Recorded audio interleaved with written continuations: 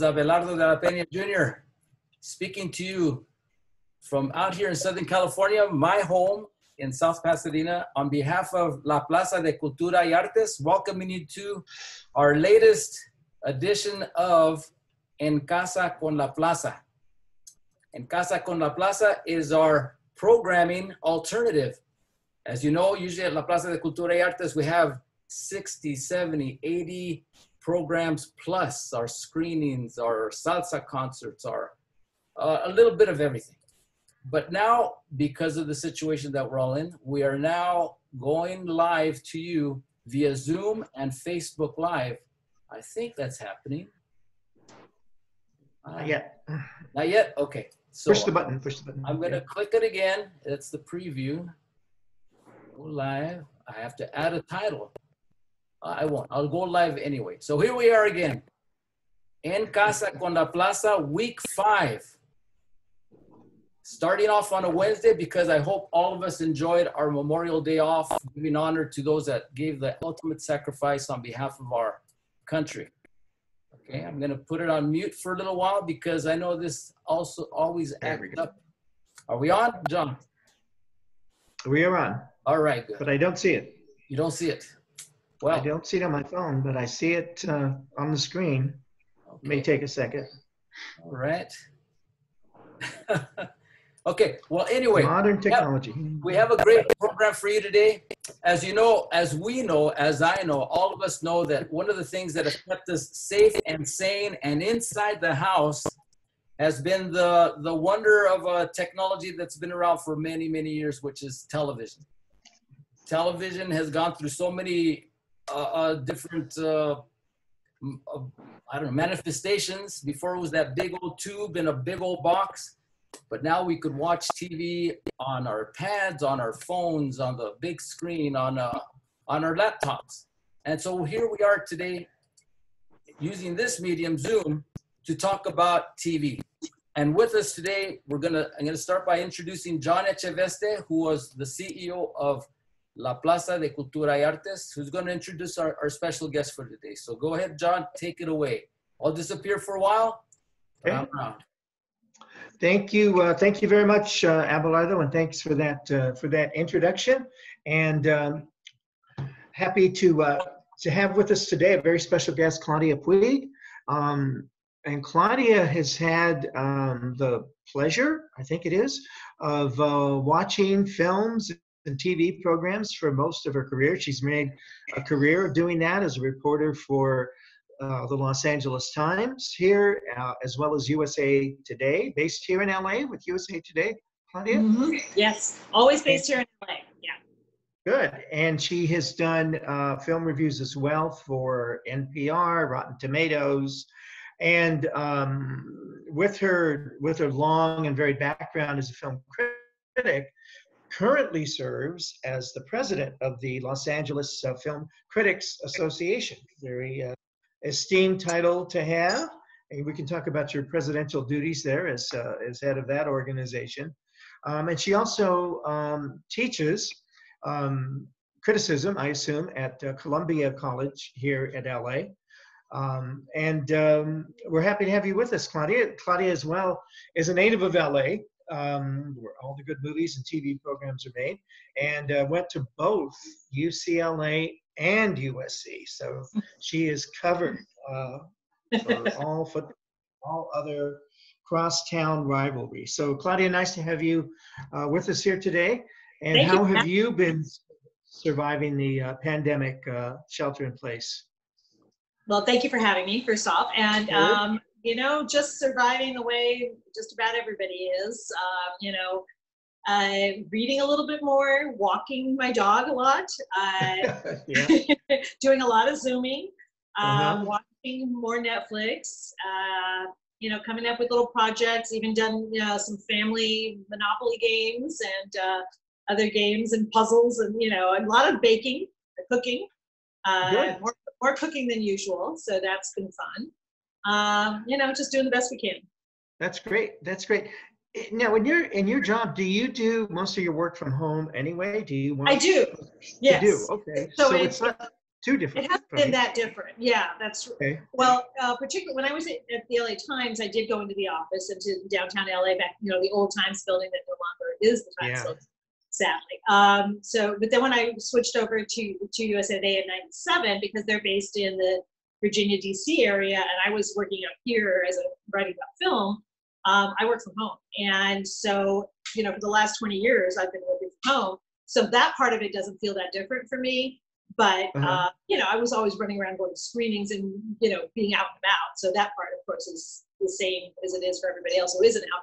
And I miss going to to you know theaters and sitting there and, and seeing my other critic colleagues. And uh, the last movie I saw in a theater was The Hunt, which was like the week before, a couple days before we were, uh, you know, told to shelter at home.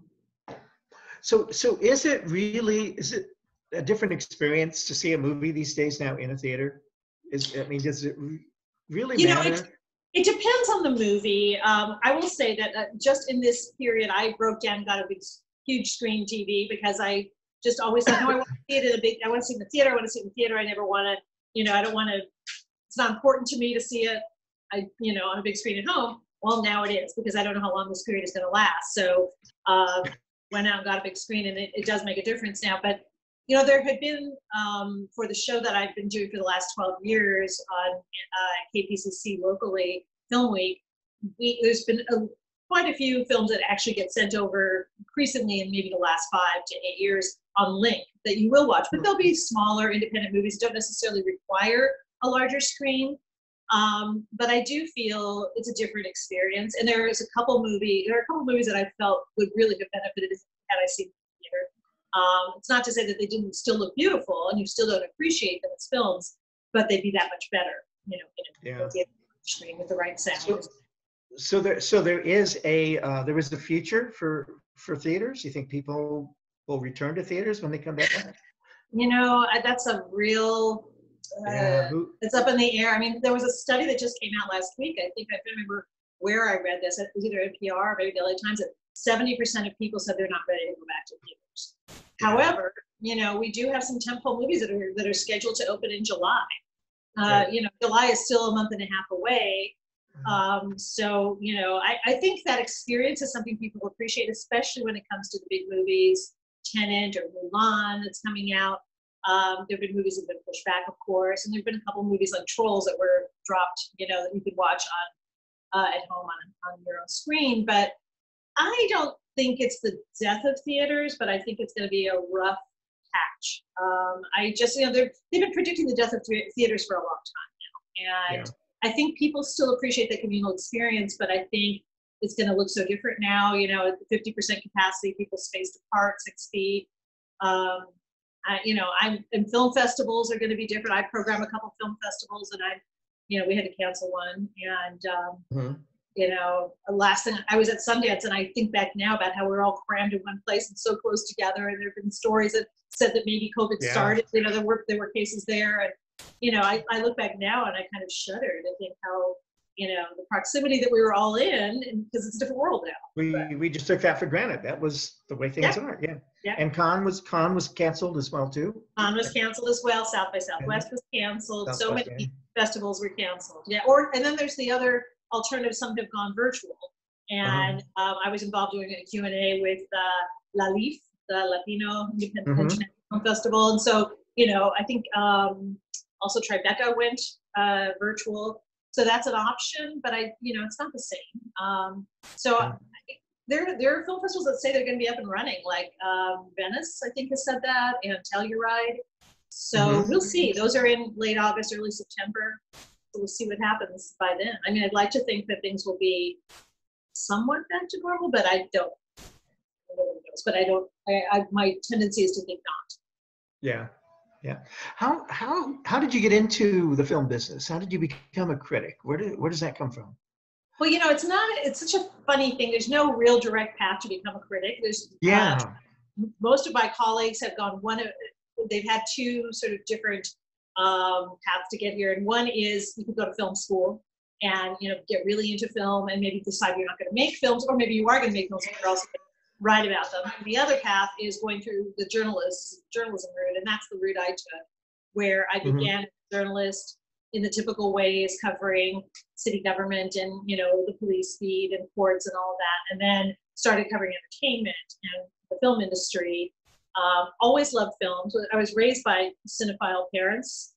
My Hmm. uh, my mother did dubbing in uh, in the movies. She was on contract with MGM, and she dubbed uh, movies into Spanish. Um, Oh. And she did Judy Garland's voice in Meet Me in St. Louis. Um, wow, wow. so that was cool. But anyway, I was brought up, you know, on some classic American cinema, and then my dad was really into foreign films like, um, you know, Fellini, Truffaut, Visconti, Buñuel, and so I was brought up watching those as a kid. So I, I kind of had a little, you know, early education in film just by virtue of my family, and was always, you know, a film fan. So I just sort of, uh, you know, via writing about directors, writing about actors. Um, Mhm. you know, kind of went that route. And there, it's it's such a kind of white male dominated field that we, you know, uh, I'm always out encouraging students, particularly women, particularly people of color, to you know go into the into the field because it's not it's a difficult field because it's not particularly remunerative and it's a little bit Yeah. hard to get a foothold, but it is very rewarding. I mean, I I've loved it. I just you know I always tell people I get to go to movies for a living. I mean, you know, right, yeah. So, so you get to do for a living what we're doing all now um, Right. during during this shutdown. Only you get paid for it, which is great. Right. That's not, that's not a bad gig at all. That's not bad at all. And No. and you told me a story about your was it your father or your grandfather who you found in an old film? My grandmother. Yeah. Your grandmother, yeah. Yeah. Yeah. What, She, what was that uh, about? She, when uh, she was, my grandfather was involved in the Mexican government. He was involved in the revolution, and then they got divorced. And she didn't want to be a single woman with four children living in Mexico as a divorced woman. That was kind of a stigma.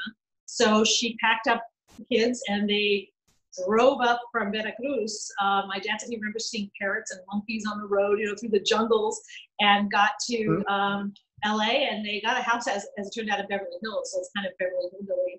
Packed up the car and moved to Beverly. And um, they, she got a job as a, uh, as a, started out kind of as a uh, a bit of an extra. Then she became a character actress and was in Hopalong Cassidy movies and was in Hold Back the Dawn, which won the Oscar. And um, spoke Spanish in a few of the movies and you know eventually learned English. But yeah, she I think I think IMDb has her in like 43 movies. Is that right? Wow. Yeah. Wow. so movies you have been poured in my blood. You just kind of found her by accident. Uh, Well, no, I knew. night? I, I oh, mean, you I- I knew? Yeah. Yeah, but we were trying to track down her movies, which are not that easy. But um, we were able to find one, I think, via, I forget how we found it through YouTube. My husband got involved with tracking it down, but I just happened to watch it.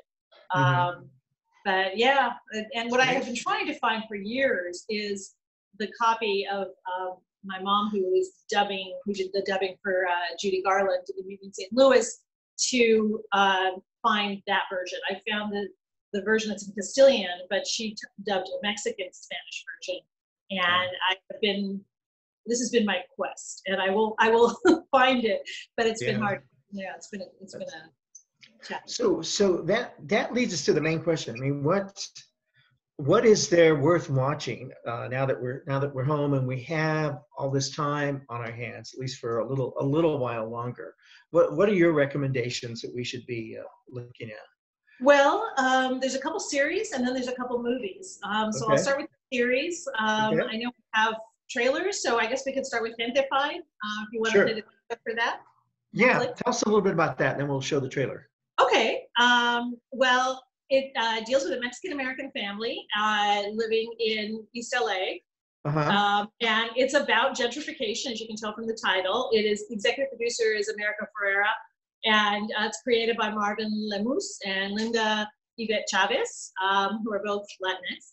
And it deals with a Mexican American family, a grandfather and um, cousins, and um, he owns a taco shop, and it's the Morales family, and it's just about how they deal with identity, how they deal with you know, the changing face of Los Angeles, especially East LA, cultural identity, immigration, white privilege.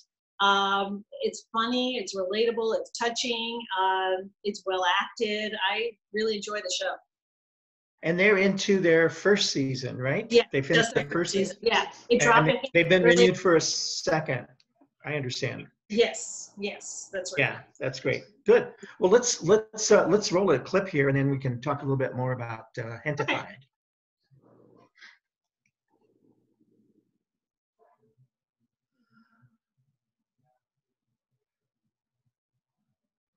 Okay, coming right up, and it's on Netflix. new list Yeah. of degrees that we can try out, and it's gonna be great. People love discovering new things. No, we've been here, fool. You haven't paid rent. Two months. Double the rent unless you coconut salad. Coconuts are delicious. Con estos pinches greedy landlords que nos quieren convertir todos en ramen spots. Stay woke. Why you gotta go all the way to Paris to be? I'm gonna back Michelin stars in Boyle Heights. Estamos preocupados por Chris. Chris is going to be fine. He can afford help like therapy or Whole Foods. ¿Qué take Whole Foods? Yo estoy aquí matándome mientras tú juegas al artista. Caramba, you're so dramatic. Te empaqué todas tus porquerías, mijita. y What would I ever do without my 50 rosaries? Para que te saques al diablo, cabrona. My daughter, she's beautiful. She's brilliant. Hijo de pendejo. Play like a team. You know las chivas. The defense communicate with the offense and then... ¿Se me entiendes, no? I think so. Me pasas toda la vida construyendo un negocio. Like un pendejo, te lo quité. We're not gonna save the shop with a burrito. We're gonna save it with some changes. It says chicken tikka masala taco. Esta es una comida mexicana, no comida americana. Oye, ¿tú estás seguro que eres mexicano? I'm more Mexican than all you. Don't forget to leave a review. And if you don't like the food, don't tell anybody. We know people. Dangerous people. Good. I don't feel safe. I think that's good. Abelardo? Yeah. So, so what I like about Gentefied is it seems very real. You know, it seems like you could almost drive into the neighborhood and and and, and, uh, And see meet this those family. people. Yes, and see what they're doing. absolutely. Yeah, it feels yeah. very real, and I and I love that. You know, again, it's so nice to see Latinos in roles that are not drug dealers and gang members and maids and and gardeners. You know, so many of the stereotypical roles that we get cast into. Um, and I like the whole that there's so many different little stories. I mean, the the you know concerned about the taco shop, and then do you expand by coming up with chicken tikka masala tacos, which by the way sound delicious to me. Um, but uh, you know, the guy who wants to be a chef and has he become too kind of white compared to his, you know, his fellow, his cousins. And there's, you know, the artist whose mother doesn't think she should be an artist. There's- There's a lot of, you know, very relatable stories as a part of the, the whole structure. Yeah.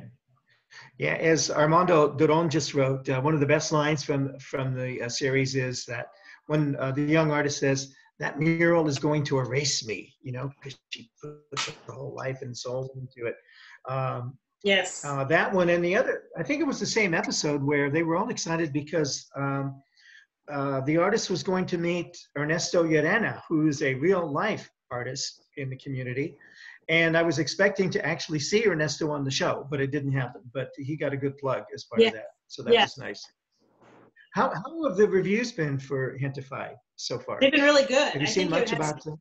I think it's something like 94% on Rotten Tomatoes, um, or Mhm. it's 80. It's either in the 80s or 90s. They've been good. Um, Good. yeah, I mean, I think there's there's little moments that are slightly predictable, but that's true of you know so many kind of you know a, a series like that. But I think mostly you know the emphasis has been on the fact that it's you know dealing with issues that are important issues, and dealing with them in ways that are um, relatable and warm and have a lot of heart. And I, a lot of the one who's gotten amazing reviews is uh, the grandfather Joaquin Cosío. Yeah. Casillo. He's wonderful. And uh, Yeah. but I think the whole cast, I think it's a really good ensemble cast, and yeah, you do feel like you've kind of gotten to know them. Uh, Really, yeah. Yeah. Yeah. Yeah. You really want to have one of their tacos. You know, you want to have one of his. Totally, tacos. totally. Yeah, Yeah. really. Yeah. And you know, one of our uh, board members is uh, in the cast, uh, Alma Martinez. So Oh. uh, we hope we hope to have uh, the producer and some of the cast members with us on. Uh, Oh, on that'd be great. Oh, wonderful. Talk about that. Good. Yeah. Now on the other end of the block, uh, in the same hood, is Vida, um, Yes. which is on Showtime, right? Actually, it's on Starz. Um, and Starz, right, right, right. get through Hulu. Um, Okay. Yeah, and uh, that's the executive producer is Tanya Saracho, who's I, who I think is very talented. Um, so it's Uh-huh. also nice to see a woman and a person of color be a showrunner. There's, there's not enough, you know, that. Um, and which is also true, you know, one of the co-showrunners on Gentefied.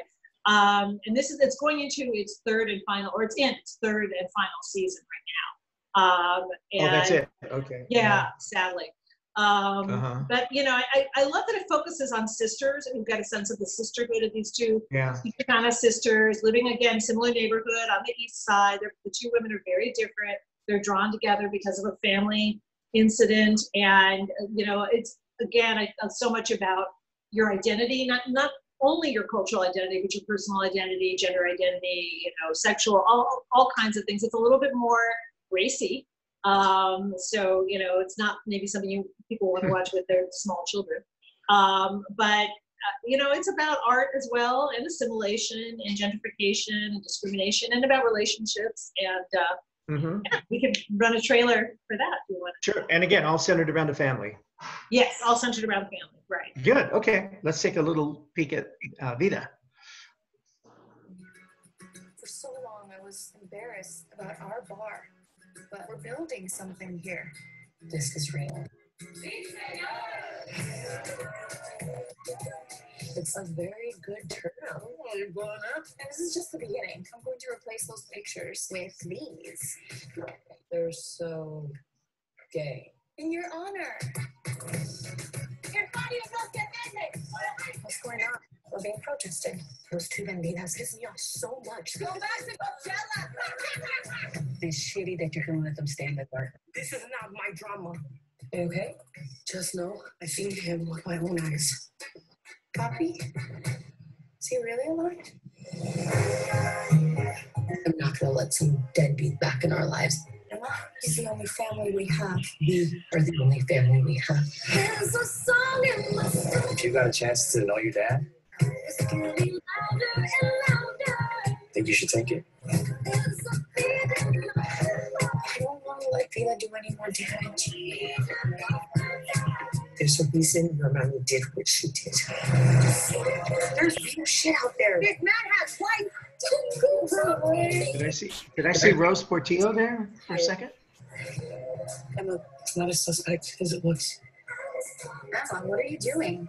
No bar staff on drugs. I'm going to fearlessly partake in not giving a shit. All right, well, I hope you're ready for some serious dehydration and an existential crisis. We deserve the truth. Okay, good. Good. So what I think would really be fun is to get the, the families from Vida and Gentefied to meet on a show, you know, to, Yeah. uh, to do an episode where they both come together since they're Yeah. both kind of in the same and uh, they can share uh, Absolutely. topics. I mean, I, it's interesting because I feel like Hitler is maybe like PG, PG 13, and you know, this is R. Um, Yeah. It's a little grittier and a little more female centric.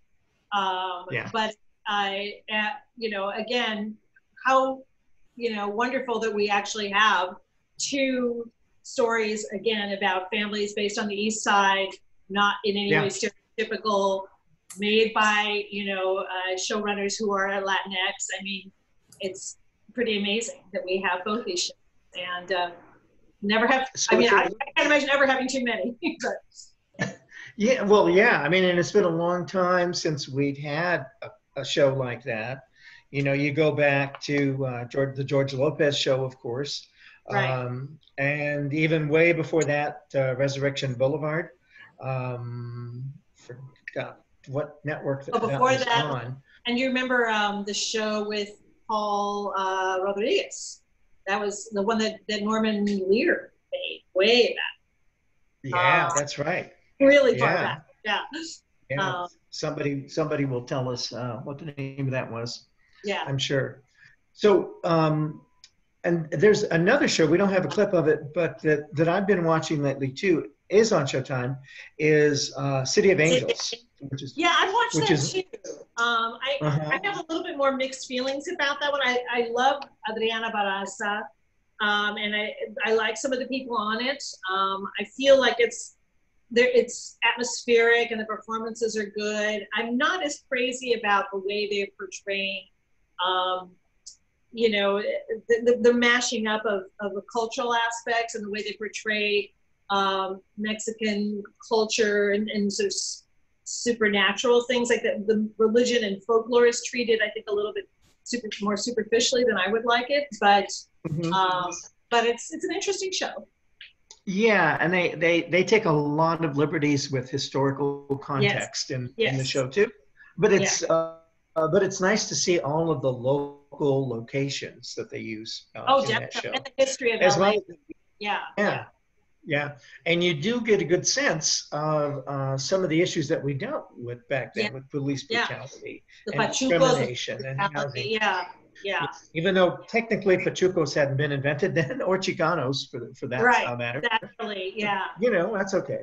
You know. You know, it's funny because get the idea. again, not, not to bring up my family yet again, but I am bringing up my family. My grandfather was on the police commission, and he got very involved in the police brutality against Mexicans. Uh, at that night of the Christmas uh, night massacre that happened, he was involved Uh-huh. in making sure the police, because he was on the police commission, making sure they got uh, properly reprimanded and stuff. So uh, yeah, I feel close to that history because you know my my parents were here back in the 20s and grandparents Yeah. and stuff. That's true. Um, And Armando reminded us the show was AKA Pablo. With Paula Dukes. AKA Pablo. Pablo. Yeah, I knew it was named after him, but I thought it wasn't called Paul. But yes, Pablo. Yeah. Yeah. And then, of course, he had his own talk show for a while, too, on uh, He Univision. did. yeah. Yeah. And you got to give Yeah. Norman Lear some credit for, you know, trying Yeah. to reach the Latino community before anybody else seemed to care. Um, Right. TV work. Yeah. Including now uh, the new iteration of uh, One Day at a Time, which Right. has returned. Um, And I'm, where is where is that streaming now? Uh, it was on Netflix, and I don't know where it has returned, but I heard. Yeah. Let's see. Um, yeah. No, that's fantastic that that's come back. I mean, so uh, it's on Pop. Okay, see, everybody Yeah. knows here. We're, we're getting all the help we need right here. Thank you, Roberta. Um, so that's a question too. Before we get into into a couple others, how do we how do we keep up with all the streaming services? What should we tune into? I mean, and just yesterday we had uh, or today HBO Max launched. So Right, got right. another one that we've got to keep up with now too. There is a lot. And what i find myself doing is because in the past few years i've been so busy going to movies there's been some you know series that i've missed. So i'm i find myself going back to things that are a few years old to catch up with them. And that is one thing that we can all be doing. Like people have said oh you know i never watched the wire back when it happened. Okay i'll go back and watch it now. I know somebody who's watching sopranos for the first time. So Mhm. you know that is i guess there's there's that but then there's constantly I mean, it, it won't be that hard to keep up because content is has been sort of dwindling to some degree because there's no production. I mean, limited Mhm. production. There's production going on in other parts of the world right now, but um, I think it will be slightly easier in the next couple of months to keep up. Um, but you know, one way you can, uh, you know, they they kind of try to algorithmically, you know, do it for you when you go on either Amazon or Netflix. They'll say, if you like this show, then you might like this show. That doesn't always work. Um, Yeah. But I find some stuff just by, you know, kind of noodling around and going, oh, this looks interesting, you know, and just kind of things. Um, in Yeah. addition to reading about them, of course. Yeah. And Well, sometimes yeah, those feel, it, it took it took me a long time, and I finally did get through Fleabag. I think in one night, uh, uh, pretty I much. love that. Isn't that amazing? Yeah. Yeah. So it was- Yeah, I got through the first season. I, I totally binged that one. And then, yeah, I think I might have done it in two nights or something. But yeah, and there's some that you just completely can do that. And there's others that you can just, you know, do in dribbles and it works out Yeah. fine. Um, Yeah. It's a great show, though. Yeah. Yeah, I'm very I'm very late too, but I'm catching up on Schitt's Creek, which I really enjoy. Me too. That's so funny you should say that. I'm super late. And that's one of the ones, uh, when I was thinking about the ones you do in dribbles, like my husband and I will watch, uh, you know, one or two episodes at night before we go to sleep because we want to go to sleep laughing. It's sort of like I would always watch Colbert, and I still do that, you know, to be able to, like, you know, go to sleep with something with a smile as opposed to, you know, given the political Yeah. situation, not always feeling like you can. But uh, yeah, I, I'm, Yeah. I think I'm on season five of Schitt's Creek. Oh, you're ahead of me, so don't tell me. Yeah, don't tell me. They found David again, so that's good. I'm happy about that. David's back. He, he was gone for one one show. Good. So there are a couple of other uh, Latino themed programs too. Uh, the Infiltrator, which I or Infiltrators. Yes, I saw Have that it. at Sundance. It's such a great, it's a really interesting hybrid docudrama where it's a, doc, documentary that you have some documentary footage, but they also kind of reenact um, bits. Um, and it's it's based on a true story, obviously, because it's the documentary aspect of these young dreamers, uh, young immigrants who intentionally get themselves detained by Border Patrol um, to be thrown into a for-profit detention center intentionally so that they can stop unjust deportations and get information to the people who are actually in this one particular one in Florida. Um, these are members of the National Immigrant Youth Alliance, and they're just these amazing, brave young people. Uh, so it's kind of a reverse prison break of breaking in in order to Mhm. help the people that are, you know, who are being detained.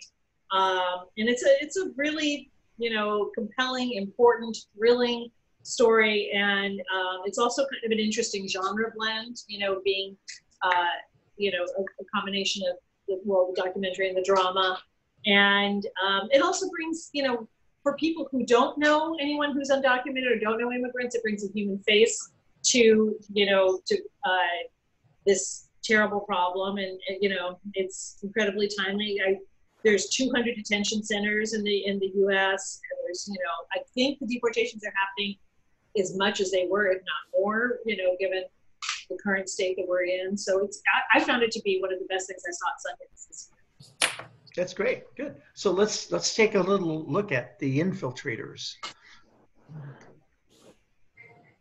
Inside the matrix of 200 detention centers, almost 40,000 immigrants are locked up. According to ICE policy, like your husband's not supposed to be in there at all. It's the national ICE investigation. 1,400 deportations every day, one a minute. We're just thinking about immigration. My dad was detained in front of me. Well, tonight, I have one question. Um, hi, how can I get in? You're gonna be transported to a detention facility. We're all young illegals. Our mission is stop the deportations. Our strategy, get into the detention center and get people out. There's a woman's side to this detention center. Hey, are you ready to get detained? I called my mom and my dad, and I said, "This is what I'm about to do." They were scared for their daughter. Call this number with your case. They're waiting for your call. Aumentar un cuchillo, un cuchillo re filoso. We can pass out a lot more phone numbers now. Vamos a tratar de terminar 600 antes de la muerte.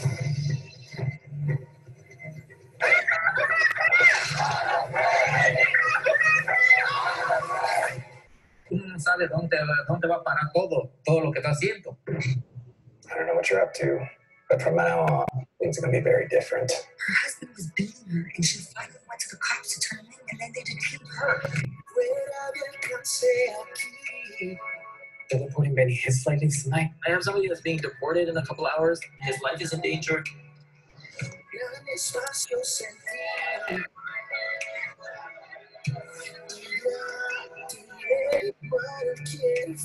I'm not leaving. We're not leaving.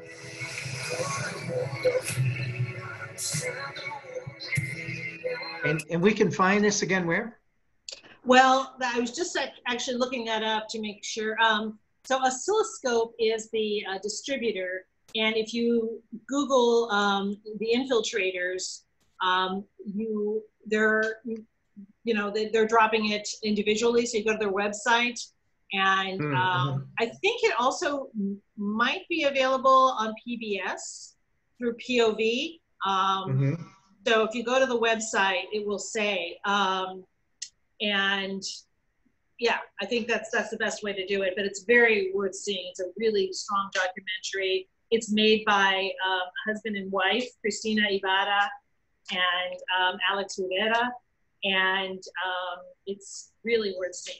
It was going to be at South by That's great. Southwest at the film festival there, and uh, unfortunately, you know, South by Southwest was canceled. But uh, it's Yeah. yeah. yeah, it's one of those ones that really benefits from a film festival. Uh, you know, at, at Sundance they had some of the people, the real people who were who, who had infiltrated, and then the people who played them. Very Good. And you had one more that you wanted to share. Uh, Yes. Uh, it's called Ya no estoy aquí, and it's on Netflix. It will drop uh, this week, and Oh, okay. it's Wow, um, so we're getting a preview here. That's great. yeah, yeah. I'm actually going to be talking about it on Film Week tomorrow, or uh, tomorrow, Friday. Um, so the filmmaker who did Los Espookys on HBO, um, he, he's a Mexico City-based writer-director, Fernando Frias de la Parra, um, directed this and wrote it, and it's beautiful to look at. It's just this is one of those ones that you do kind of wish you had. You were seeing it in the theater on a very large screen, but um, it's gorgeously shot. It's got this very vivid sense of place. It's set in Monterrey, in the mountains of Monterrey, and there's just like this. It follows. There's a lot of non-actors, but it is a you know a story that's scripted. It follows the street gang, and they're they're called Los Tercos, and they're this very specific gang who listen to cumbia, a kind of a slowed down cumbia, and they look a certain way.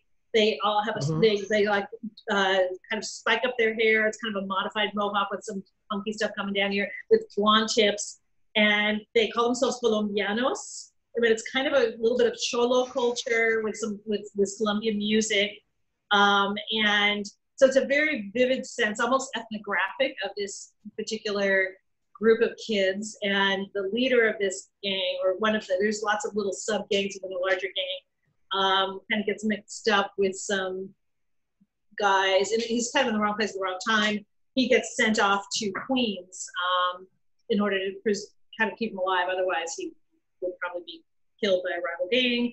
So then he goes to Queens and does not fit in, doesn't speak a word of English. It's kind of a nice counterpoint to the infiltrators because he's an immigrant who is struggling. Hmm. Um, and he goes to a very diverse community in Queens where he meets all kinds of people. But even other Latinos don't accept him because he looks different. He wears weird clothes and he has this kind of what, you know, would be sort of like probably the way that early punks in, in you know, working class parts of England were, how they were regarded. Um, and it's it's really well done. It's, it's interesting because I was just noticing that both um, the first season of Vida and this have 100% on Rotten Tomatoes. Um, so it's they've been really uh, well received by critics. Um, and it's just really you really get a a sense of it's very vibrant. You get a sense of this culture, this very you know this slice of life in Mexico, and then also what happens when you come to the country and you're you're lost. He's alone. You know, he doesn't even have a family. Mhm. belong. Um, so it's it's and it's just very um, evocative, and I just think he's a really interesting filmmaker.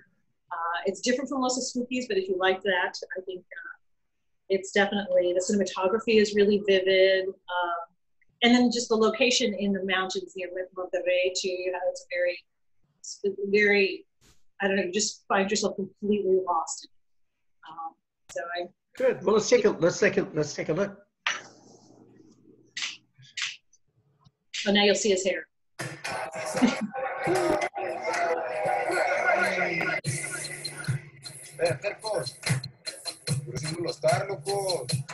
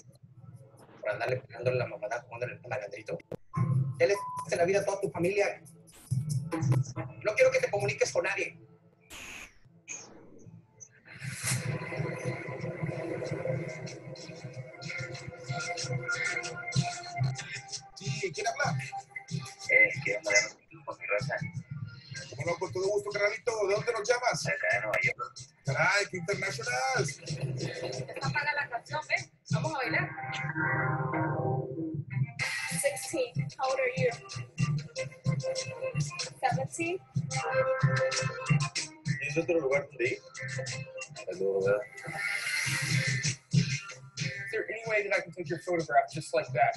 Hey, he doesn't speak English.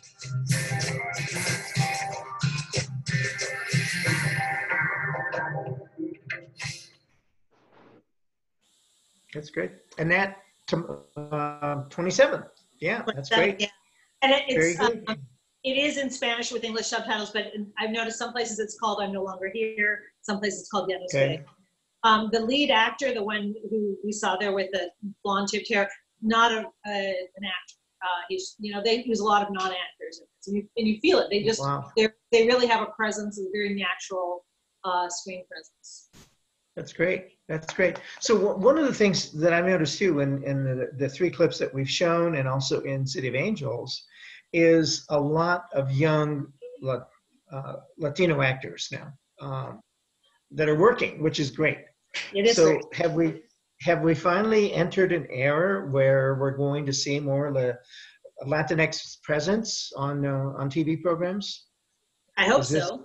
I mean, I think sign that that's going to happen? of it. It's been terrible. I mean, when you look at those diversity reports, um, one that like UCLA releases every year, um, you know, the representation has been really bad. The only worst representation is Native Americans, which is virtually no representation. Also Yeah.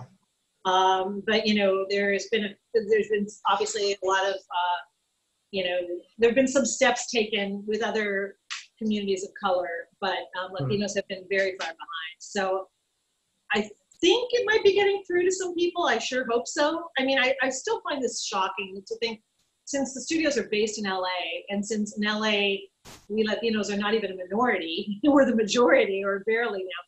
I mean, it's shocking to me. If there was anything, you think that we would be overrepresented in, Yeah. things because people look around and they see other Latinos. So it's, it never has made any sense to me. But Yeah. I think yeah. there are some inroads happening. Yeah, slowly but surely. Yeah, yeah, yeah.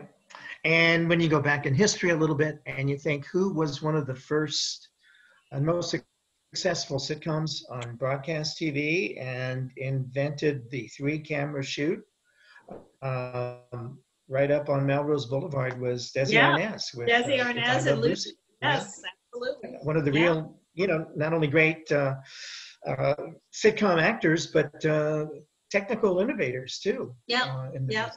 Yeah. Yeah, I remember watching a lot of history and hearing Spanish spoken and feeling like, you know, I never like they always ask you, have you ever seen yourself on? I never saw myself on TV, but at least I heard, I saw what kind of reminded me of my uncle or something. You know, speaking Spanish. Yeah. That was something. Yeah. So, so let's let's talk. Uh, let's turn to films for a minute now. Um, have you caught up on any great films that we've missed? Uh, any classic films or current films that may have slipped by? Um, yeah, there's a couple good ones. Well, you know, in, terms of, you know, this one is a film, uh, the one we just talked about, you know, Estoy aquí. There's another one Uh-huh. that's that's uh, opening this week called The High Note, which I actually like quite a bit with uh, Tracee Ellis Ross and Dakota Johnson. Um, it's through Focus Features, which is owned by Universal. Um, so it's another one of those that you know I think you have to pay a little bit to see, um, but it, it'll be dropping uh, this week. Um, I'm trying to think if things have gotten lost in the shuffle. Um, you know, I've been kind of going back and and uh, watching stuff that I either had already seen or that I might have missed. Um, I there was a. Do you remember the documentary "Searching for Sugar Man" a few years ago? It won the Oscar. Um, Sure. That you know that's streaming, so I kind of caught up with that again. There was a movie that came out last year that went under the radar, which is it was a Netflix film, but it was um, the boy who harnessed the wind. Uh, Chiwetel Ejiofor, the actor, is his directorial debut, and it was based on a true story set in Africa.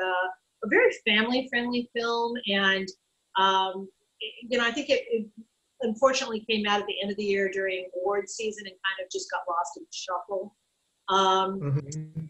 but I'm trying to think if there's been any. There haven't been any new ones that I think we have missed, um, or you know, that haven't been discussed. But it is kind of a good time to go back. Um, you know, uh, there. I, I can't believe how many. I, I teach a class on diversity in the media, and um, I can't believe how many people didn't see Moonlight when it came out. You know, won Best Picture. It was not. Oh, it was not under the radar, and yet so few people saw it. So I always encouraging people to catch up with that if they can. Um, and it, it, it's certainly streamable. Um, and there was a film that came out just last week, again on Netflix, but it was uh, I really enjoyed it. It has um, Issa Rae and Kumail Nanjiani, Lovebirds. It's a comedy. It's Mhm. light, but it's a nice little escapist. Uh, you know, one of those um, everything that uh, one thing goes wrong, it leads to a series of things that go wrong, and you know, it's just silly fun. Um, but it's also nice to see people of color in the lead roles. Yeah, and just kind of looking forward to um, some of the new releases that are going to be coming out too. You know, this summer at La Plaza, we normally do our outdoor film festival. Last year, we did three films by Edward James Olmos. We had planned this year to do uh, uh, films by Robert Rodriguez, uh, starting with Spy Kids. Um, of course, that got Oh. nixed. Um, Yeah. But um, in the process, we heard too that Robert's doing a new film based in downtown LA. That he was going to be doing some location uh, shooting there. Um, don't know much. Don't know anything else about it other than that.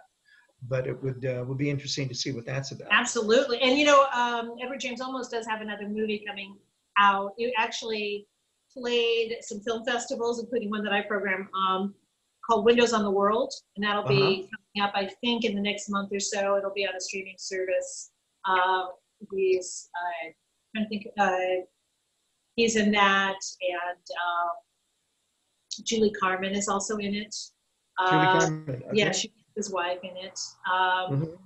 uh, but yeah, the Robert Rodriguez thing. I mean, I, I'm always up for seeing anything that he does. Um, Yeah, it's such a yeah. Um, and then and- uh, go on. uh well, just the other a couple of others uh, that we're looking forward to. Uh, in the Heights, of course, the uh, Oh adaptation gosh, of uh, yeah, Lin Miranda's uh. Broadway play. yeah. yeah. the Heights. yeah. So it was supposed to be, uh, yeah, this summer, and it's now June 16th, 2021. Um, but Oh, is that right? It's been delayed a whole year now, huh? Yeah, a whole year. Wow. Yeah, Wow. because they really came to the conclusion. I was, uh, he was interviewed and he was just saying how he and Lin Manuel said it, it's, you know, because of the fact that it's a musical and it, it's, it's such a, you know, something that needs to be seen in a group. There needs to be kind of that sense of, you know, uh, celebration and enjoyment that comes since it was a play, obviously a musical, that it needs to be in a in a theater. So they, you know, some things don't necessarily, but I, you know, Ah. that one makes a lot of sense. Yeah. And then of course there's West Side Story coming out supposedly in December. Uh-huh. Um, and we'll see. I mean, by December things should be okay, or Yeah. I would think theater wise, but Any uh, any any early word on either of those two? um, I've heard good, really good things about In the Heights. Um, Have you good? I've seen the trailer and it looks good. Yeah, trailer looks good, and I've, I've heard from some people who've seen, you know, an early cut of it that it's great. Um, I have also heard good things about West Side Story. I, I, it's hard for me. I wish someone like Lin Manuel Miranda had directed it, or somebody other than. Not that I have anything against Spielberg, but I just feel like it's something that would have been nice to see a Latino director uh, have done it. But very curious to see how it's how it's gonna go.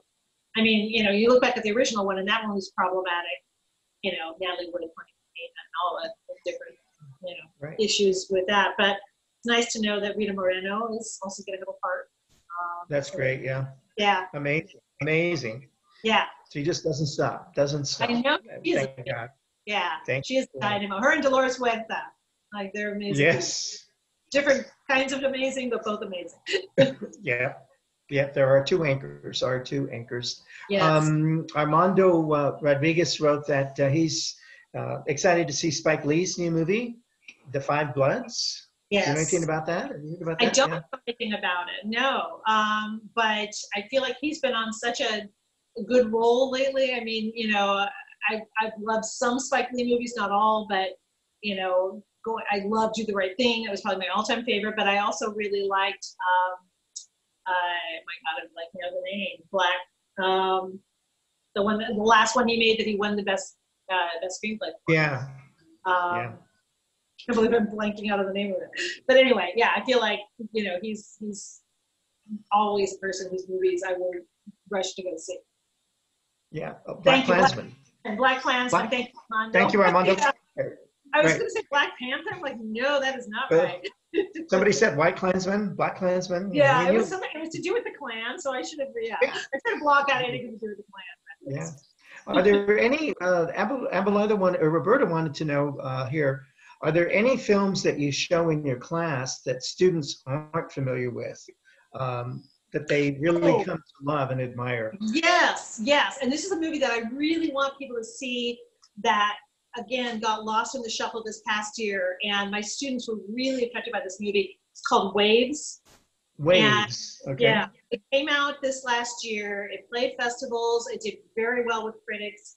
Uh, stars Sterling um, K. Brown and um, Kelvin Harrison Jr., who is in Luce and who is also in this movie that's coming out next week called High Note.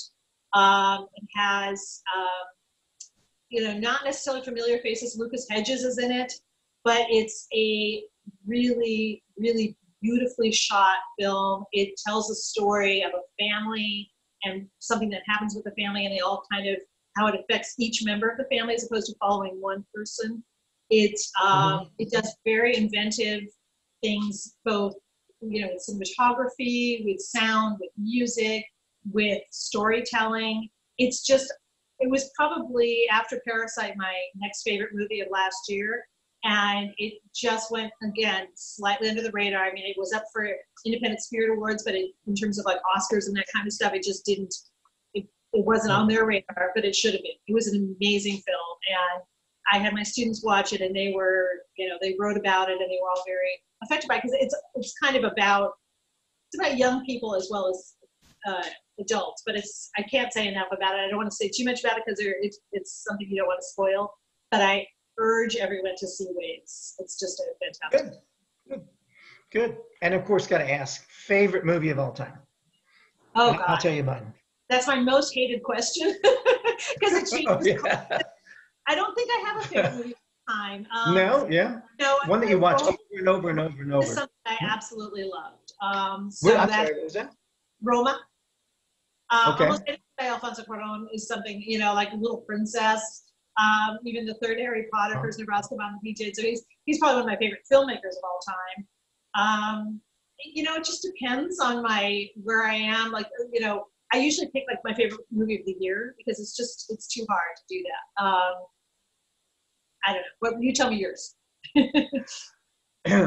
okay, well, anything by the Marx Brothers, but uh, next to that, uh, 1927, Abel Gance's production of Napoleon. Okay, Oh, silent film. yes. Abel Gance was the first guy to use the Cinerama effect with theory Yeah. cameras in 1927. And, you know, when it was uncovered by Francis Ford Coppola back in the early 80s or so, and he Mhm. presented it in theaters with his father that. conducting Yes. Carmine It was Coppola. amazing. That's right. He did the music. Carmine Coppola, exactly. Yeah. Yeah, Carmine. Yeah, that You know, um, it's funny because if I think about the movies that I've seen the most, uh, like how many times have I, if I went by like what I've watched the most, it probably would be Young Frankenstein. Um, just because Yeah. comedies, uh, Mel Brooks movies are, you know, you can watch them over and over and over again. Um, so that's not necessarily to say that is my all-time favorite movie, but it's definitely up there. Um, you know, the ones you quote and that you can watch over and over again.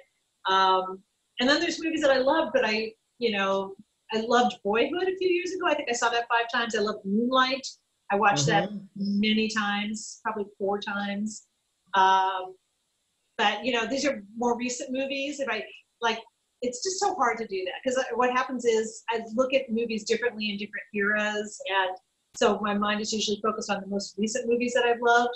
When you you know you watch a couple hundred a year, it's just it's that is my that is the toughest question. yeah, for me, it's uh, if I'm if I'm just scrolling through TV and Kill Bill or Kill Bill 2 comes on. To yes, well, a. Tarantino movie would definitely be up there, definitely. Yeah. You know what other movie I think is would be is kind of interesting to watch at this particular juncture too, and it kind of went under the radar again. Um, directed by Lorene Scafaria, who did um, Hustlers. Was that the one with Jennifer Lopez this year? Uh, it's called Seeking a Friend at the End of the World. It Hmm. came out maybe ten years ago or something, and it was about the end of the world. And so I just feel like it's timely to watch during a pandemic.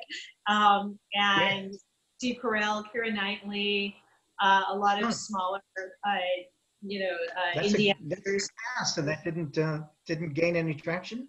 It didn't. People who saw it liked it, but it just didn't gain. You know, there's so many of those. I could, you know, there, we could do a whole segment on movies that just didn't get traction and should have and deserve, you know, just deserved more attention than they got, and for whatever reason. Um, there was a Soderbergh movie. Um, oh God, I can't believe I'm blanking out on this movie. I'm having like uh, corona-related forgetfulness.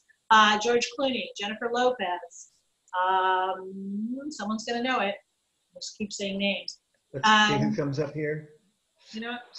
I'm gonna I'm gonna just do my little uh, IMDb here.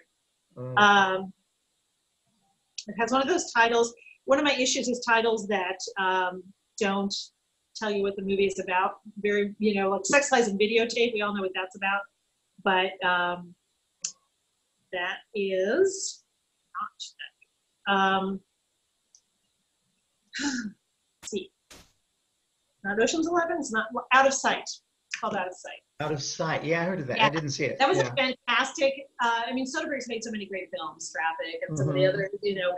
But that was one that I thought was just. It had some of the most beautiful cinematography, some of the best editing I've ever seen, and for whatever reason, the studios didn't push it enough. It was made in '98, and it just went under the radar. I mean, there are many people that, that have seen it that have liked it, but they've caught up with it later. Um, and I, this is kind of the time to catch up with those later. So that's that's what's you know this is the later. And and we can find most of these movies on Netflix. Do you think? I think between Netflix and Amazon, yeah, you probably could. Okay. Um, yeah. Good. Uh, good. yeah. And I. I think we have time for one more question here. Again, was there one film or a character that you saw in your youth that really had an impact on you, and maybe got you into this field? There was a character that had an impact on me, and it was. I mean, this is kind of an obvious one, but it's the first one I thought of when you said this. It was Atticus Finch watching To Kill a Mockingbird.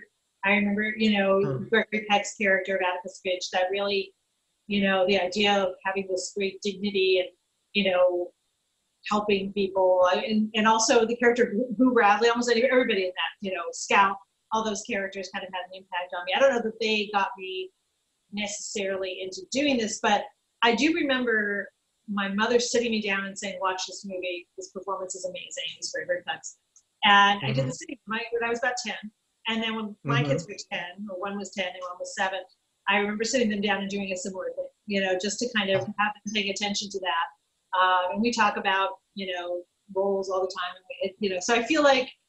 Um, you know, and maybe it was adaptations, things I had read. I remember reading The Godfather when I was in high school, and then seeing The Godfather. Same with The Exorcist. Um, that probably had a. I was raised as a, you know, went to Catholic school for 12 years, so The Exorcist probably had a big uh, impact on me too. But um, yeah, I don't know. It's hard to. I just feel like movies in general have had such an impact on my life. Sometimes I'll be thinking, well, did this happen, or was that a movie, or was that I dream that? You know, it all kind of. Yeah, right. it all kind of melts together.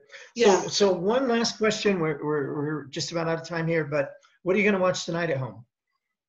Ah, well, I watch um, some things I need to watch for Film Week. So uh, one of them is a um, a film called Papicha, um, and it's a foreign film.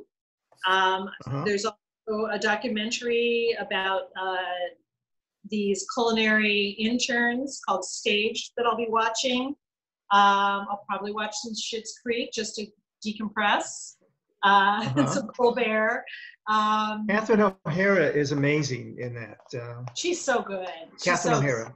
She Yeah. just, yeah, yeah. Yeah, she's, They all she's are, great. she yeah, really Dan Levy out. is also really good. Yeah, um, I those Yeah. old Christopher Guest movies with Eugene Levy and, and, Catherine O'Hara. Like Best in Show is one of my all-time favorites. I love that. Yeah, The yeah. Mighty Wind, all of those. Um, yeah, I love those those sort of ensemble actors and.